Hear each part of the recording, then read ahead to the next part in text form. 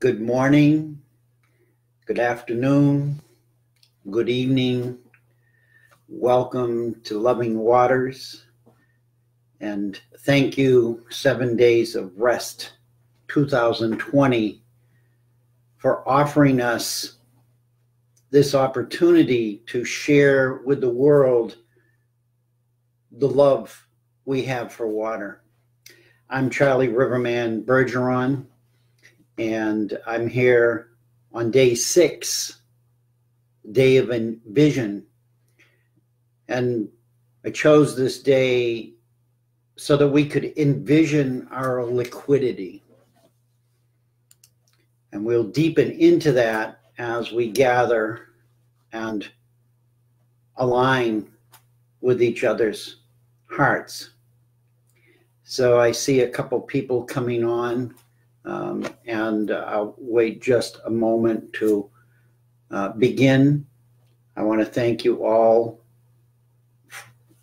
for all that each one of you do for the waters in your own neighborhood. And it's so important now for all of us to gather around the waters and really deepen into what they might have to express to us. So I'll begin. Envision our liquidity. What does that mean? What does liquidity have to do with diversity, which is the main theme of the seven days of rest 2020? Liquidity is our creative, creative gift to change forms and abilities in all circumstances we encounter. Envision, the word envision, I like to play with the words from the dictionary sense, is to think, conceive, imagine, fancy, realize. Those are the definitions of envision. Shelley Ostroff on today's page on Seven Days of Rest wrote this message, Envision, which I'd love to read to you. With your imagination, reach out into the best of all possible futures. Connect with the essence of that future that will be most vitalizing. Connect with the essence of that future that will be most vitalizing and for the core of your being as well as for the whole planet. And for the infinite universes of which you are a part. For the infinite universes of which you are a part. Welcome that vibration into every cell of your being Allow it to seed within you and beyond you. Ask it to become the compass for all your actions and become conscious of your own well being. It's in, in, intricately connected with the well being of the, all aspects of creation. So we learn to co create health and vitality for the planet and all its inhabitants. You'll have to forgive my glasses as I read my notes. Uh, vision is a, a precious thing in this world of our envisioning liquidity. But the envisioning I'm really talking about is the envisioning with your heart. And I also want to talk about embracing liquidity not just envisioning it, but embracing liquidity. So, embracing is carrying, comprehending, containing, encompassing, taking in. The word our relates is about relating to us as agents. We become the agents of liquidity. And liquidity itself is defined as flowing freely like water deepen into that. Flowing freely like water. As I began my notes this morning, uh, thinking about this and processing all that was coming through to bring forth for you, uh, I was surprised by a quote that posted popped up on my computer screen from Leo Buscaglia, a person I think he taught Love 101 probably 40 years ago. A man who I just admired immensely with his ability at that time to really tap into love and express it for us to um, understand at a different level. And the quote was this Love yourself, accept yourself, forgive yourself, and be good to yourself. Because without you, the rest of us are without a source of many wonderful things. This represents our diversity. So we bring this all together and then we add water. And I want to add water in a way um, that is a blessing for you. And it's a simple blessing that I want to give you with a hug. With a hug and the words, I love you, water. As I look at you as water. And this simple blessing is a blessing of gratitude that really, I'm not the only one who created. I'm sure there's many versions of this. But I practice this, and it's in honor of Dr. Masaru Emoto, who studied the crystalline structure of water, that when it was blessed or cursed, you could notice changes in the crystalline structures. And as it was taught to me, he would say, I love you, I thank you, I respect you. To every tiny molecule of water. And I add, I am you, you are me, and we are unity.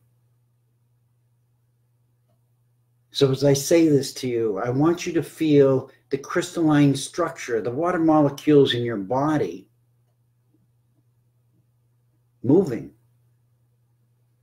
deepen into this liquidity. I love you. I thank you.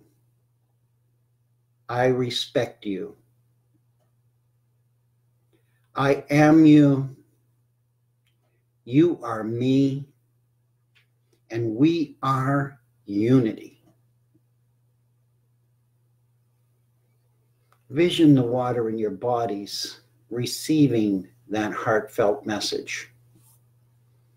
Embracing yourself as water not just physically, but feel it at all levels of your consciousness.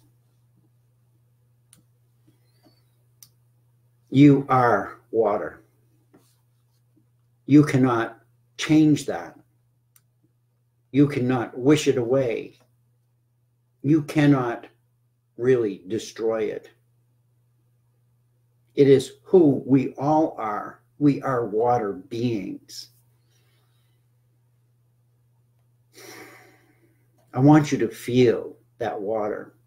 I want you to envision that water in your body, fully expressing who you are. We think, I think we can all agree that without water, in our immediate environment, our existence is pretty relative and all living species here on this planet would find it very challenging, if not impossible, uh, to adapt and exist without water. This is something we take for granted these days. Water, we take it for granted many parts of the world are not taking it for granted now because there's a lack of water or the, the water that they have is polluted or not healthy. And yet, still, people have to go to that well every day and dip the water out because they have no other source. So when we look at the world, this beautiful blue marble in space, and we what do we see? We see that water. We see water. That's what you see from outer space is the water. You don't see the trees. You don't you see that blue color and that's the water. Amazing thing about planet Earth is that between 7 from 7 to 50% of the ocean water that is on this planet right now is older than the planet itself. Say that again 7 to 50% of the ocean water is older than our planet is. How can that be? One might ask. The water was originally formed in interstellar space as ice, even before our sun was formed, which, according to some scientists, uh, are estimated at 4 to 4.6 billion years ago. 4.6 billion years ago. That's how old 7 to 50% of the water on this planet is. Now, think about that. How many shapes and forms, how many vegetables, how many beings has that water become in 4.6 billion years of existence?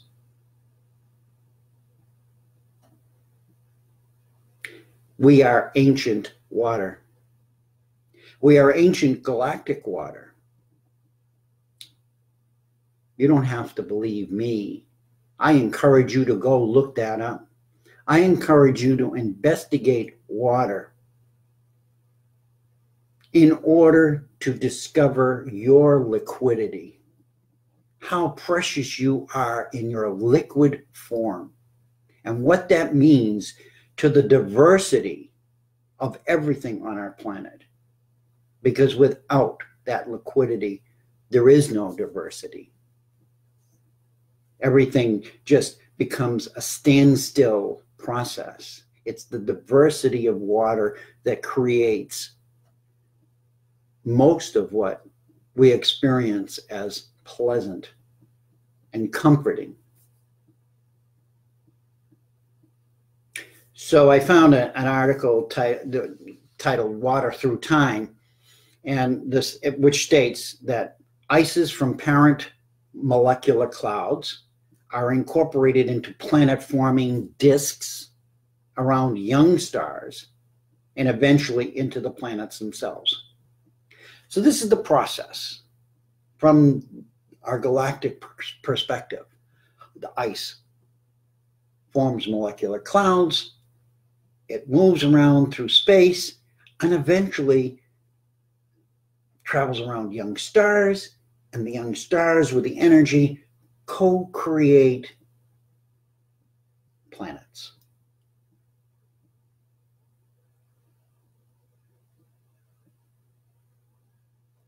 We're living on a water planet. You see scientists looking in space for water planets. This is not an idle passing.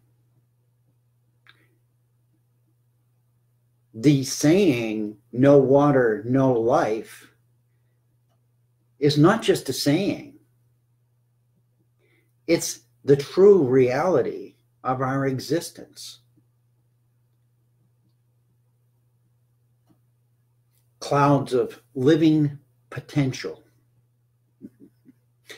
clouds of living potential. I love when I wrote that this morning. Clouds of living potential. Not just clouds in the sky, but you and I are clouds of living potential. that have clustered and moved through density and non density to exist within most of what we call living species. And are even held fully contained within the crystalline structures we collect and adore. Here's one right here. Crystalline structures contain water. In the little opening, that's what I was talking to the crystalline structure in you, blessing that crystalline structure in you. And I want you all to come away from this talk today with a completely different viewpoint of water. Not because I said so, but maybe your choice will be to prove me wrong. I challenge you to deepen your relationship to water. And I promise you that when you do, you will learn a new respect, not only for water, but you will learn a new respect for yourselves and each other. And this is where our liquidity and our diversity merge. So, as we continue embracing the water today and its amazing abilities to be fluid, even in its icy form as it was in space, the primordial clouds have a message for us. So, part of my journey in this world, in this lifetime, is to be a messenger. Today, I'm a messenger for the water. This week, when I discovered that I was going to do this, when I chose to do this, I listened to the water, and every morning I would be awakened at three o'clock, four o'clock in the morning, and the water would communicate to me. And I would have visions of the water or what I was going to say or what I was going to talk about. And I knew that it, what was happening was really not going to all form today in this talk. But what it was was reconnecting me to the fact that I can communicate with water.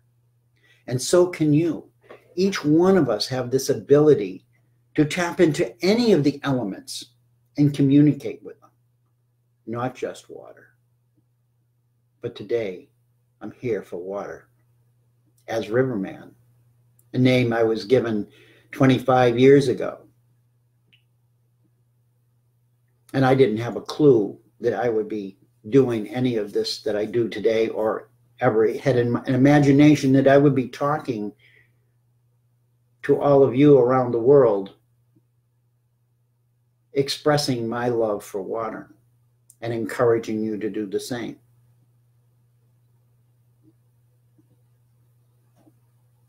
Diversity needs structure. It needs structure to contain it. Many of us, if we look at our body, this is a structure. If we didn't have this structure, the water molecules in our body would not be contained. If you poke yourself, you will bleed. What is blood? Water. It's water that contains everything within you. When we bleed out, meaning we have no more blood, we no longer exist. Real simple. This isn't brain surgery. This is this is just simple, simple addressing the fact that every cell in our body contains water.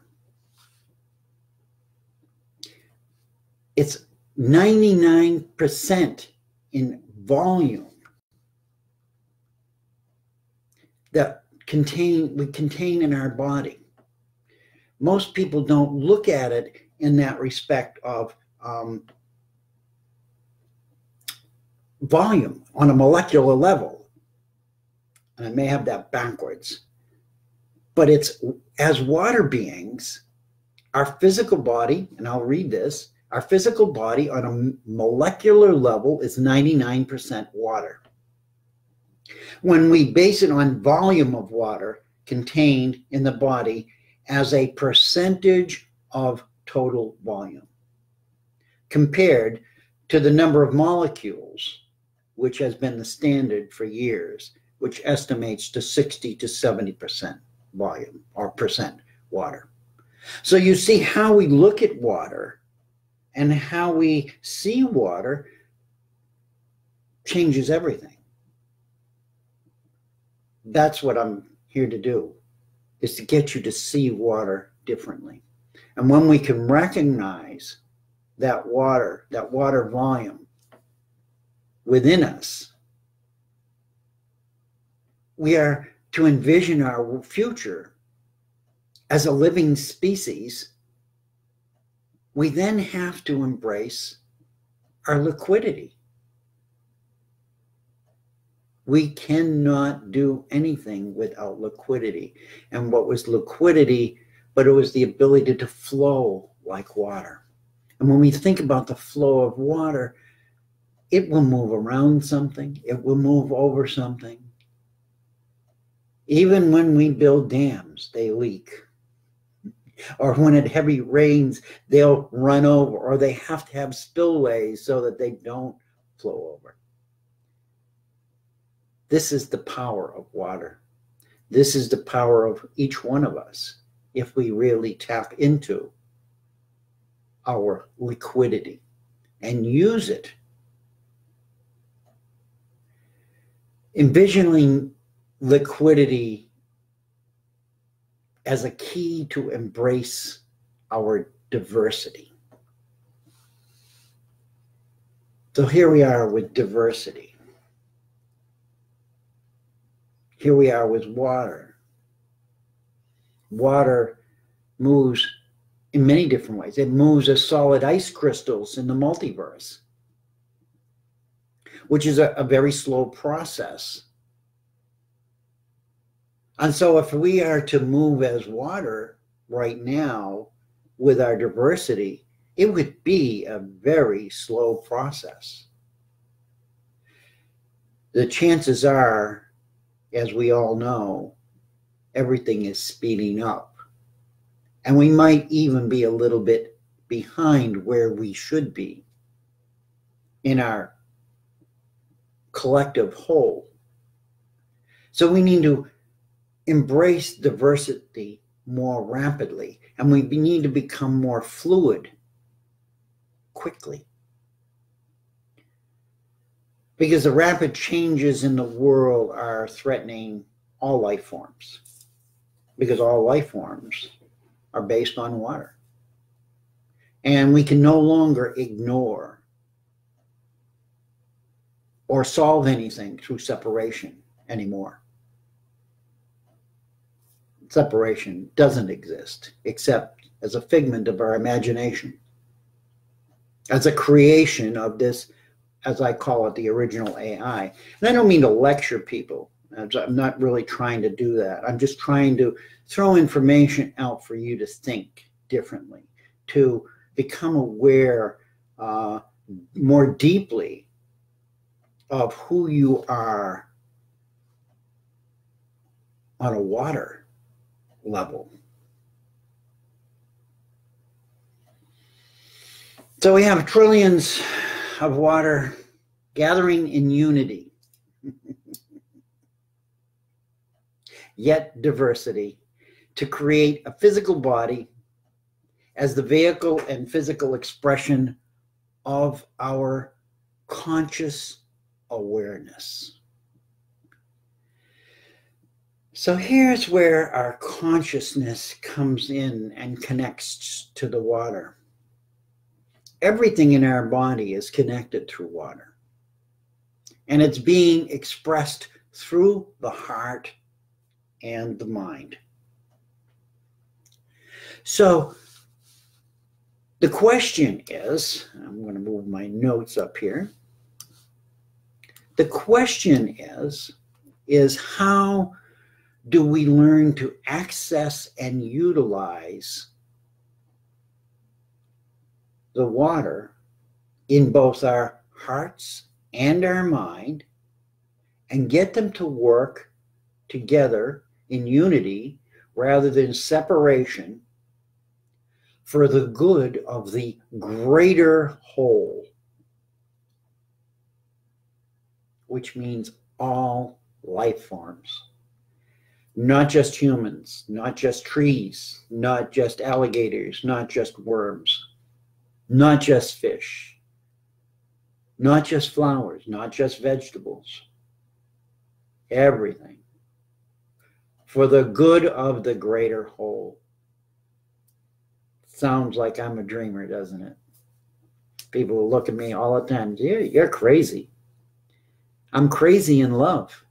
I'm crazy in love with the water in you. And I want you to be as crazy in love with the water in each other. Because if we take on the form of water as ice, like it does in the galaxy, our movement is going to be very, very, very slow.